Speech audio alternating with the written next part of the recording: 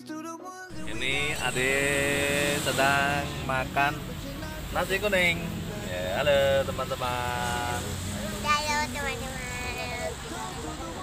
Nanti aku pengen makan dulu. Ini ini adalah nasi kuning nasi kuning. Jadi kita makan sama ayah ibu dan kakak di belakang kampus Universitas 11 Maret. Ada. enak guys?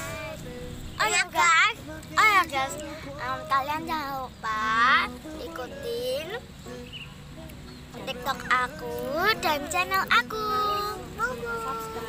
Jangan lupa subscribe